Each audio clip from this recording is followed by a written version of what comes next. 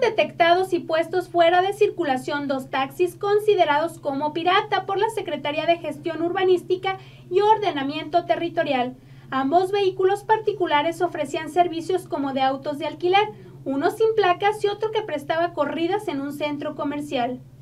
Eh, encontramos dos vehículos, uno que nos reportó el público a través de una fotografía que nos mandaron de un taxi que andaba sin placas, que estaba circulando como pirata, y de otro que igual nos reportó el público. Ambos casos se conocieron gracias a una denuncia de los usuarios, por lo que la autoridad aplicó sanciones y no podrán ofrecer más servicios como este nos ayuden a denunciar este tipo de hechos. Es muy importante por muchas razones. Primero, por la seguridad de las personas. Segundo, eh, pues porque no tienen un seguro. Eh, este tipo de vehículos no cuenta con un seguro para responder ante cualquier accidente.